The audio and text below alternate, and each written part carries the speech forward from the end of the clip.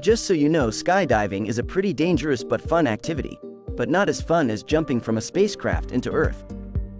For skydiving, you'll naturally feel a massive amount of air rapidly hitting you as you go down. Note, you go down because of gravity, and you might take some safety items like a parachute to help you land safely, but what if you jump from space? Why would you fall? There is no gravity in space to pull you down. And how would you land? Where would you land?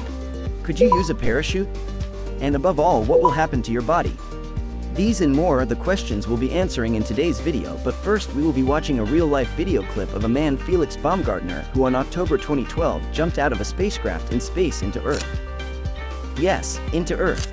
And at the end of the clip, we will explain the science behind some of the strange things you'll see in the video. For example, why didn't Felix burn up in the atmosphere? Why did he not float off into space? And other puzzling questions. So, stay close and watch this video till the end.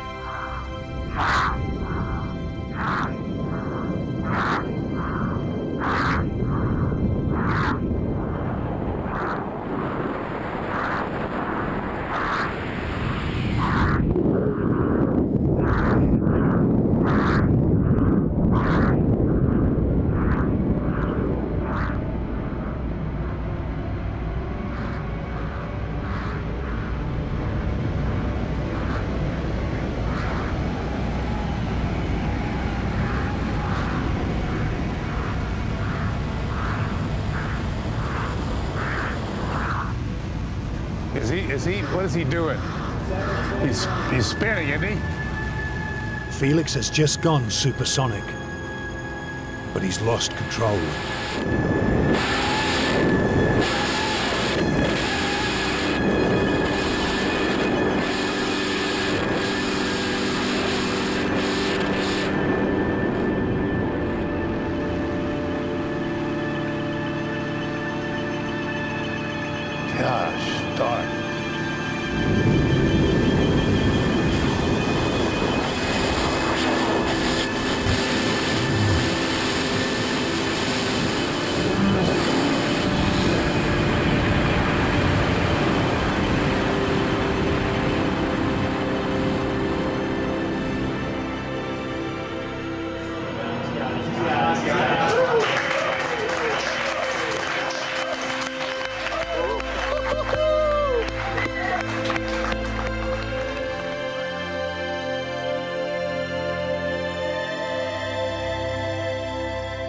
Minute, 30 seconds, and stable as a rock.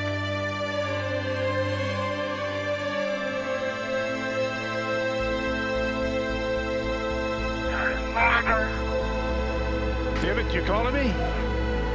Uh, keep talking, Felix, keep talking. Three minutes free fall, three minutes free fall. Anything. I have been following spin for a long time. Sounds like I have a half hour. The laser is smoking up. Oh, indeed, the laser is smoking up. You're at the coldest altitude. The further you fall, the warmer it's going to get. I just have to keep it up. I'm pulling my parachute.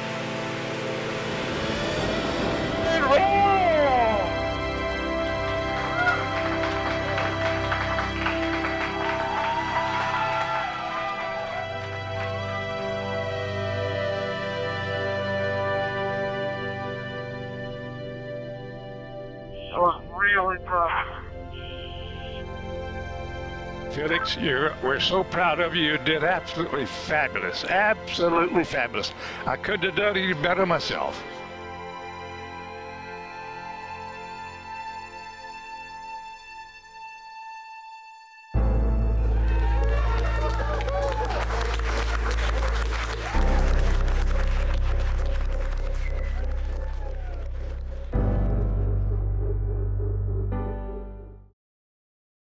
Wow, what a sensational yet amazing moment of achievement.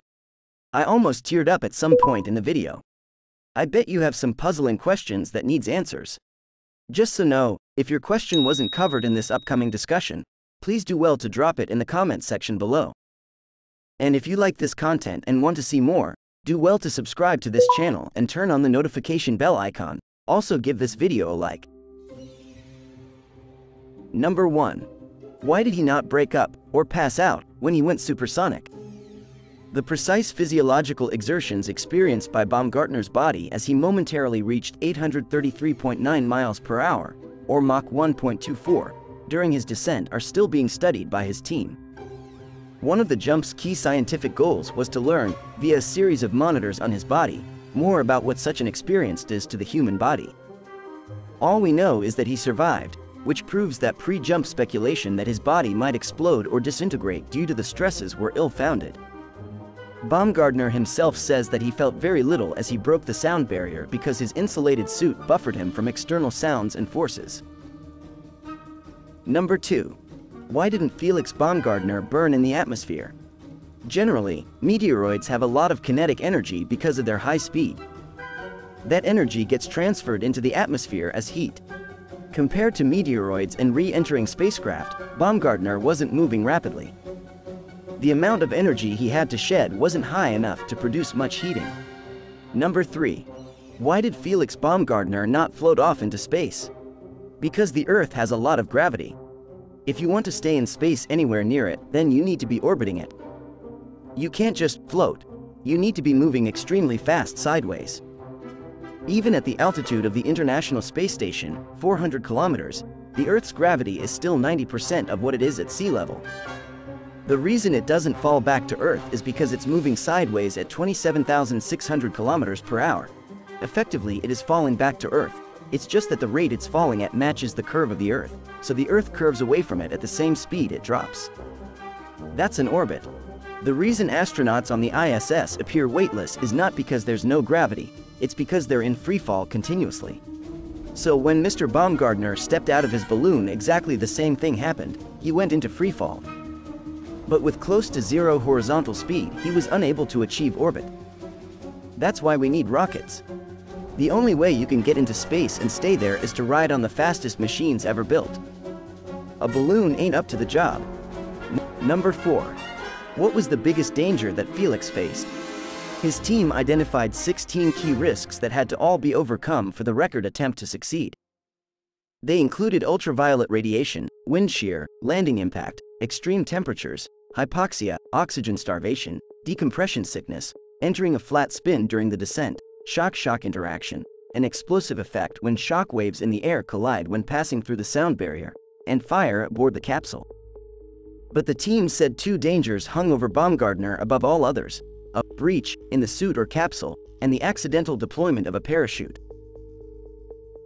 Number 5. How much sleep did he get before the jump? Before the jump, Baumgartner's team built a schedule to ensure he was fully rested. This involved going to bed precisely 12 hours before the ascent for an 8-hour sleep. But due to the hectic schedule on jump day, he was awake several hours before dawn. Baumgartner has said that he likes to draw in a sketchbook as a way to clear his mind before a major jump. Number 6. How long did Felix take to reach Earth? After depressurizing the capsule, the point of no return, Felix perched on its ledge for a few final moments before making his death-defying, multiple record-breaking leap to Earth. I'm going home now, he said. He started 99,000 feet higher than Mount Everest and it took him just 909 minutes to get back to Earth.